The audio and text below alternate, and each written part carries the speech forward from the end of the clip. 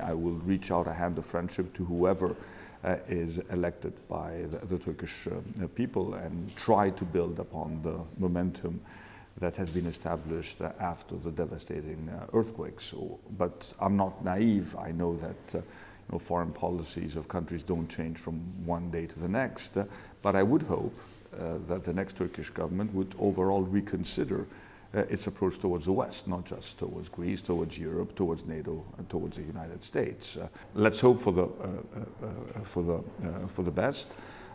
but again, I have, you know, I have to make sure that I'm also ready for, you know, for a renewed period of tension after the elections.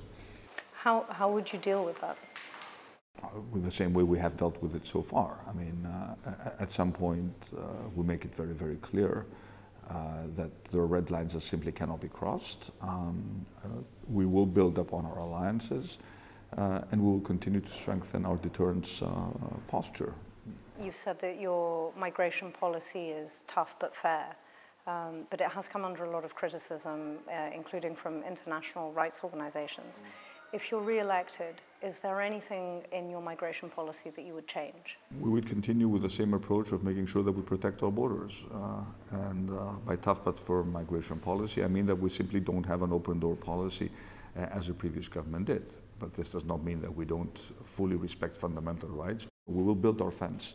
Uh, on our uh, uh, on our northern border. Again, I want to make it very clear. I'm, un, I'm unapologetic about that.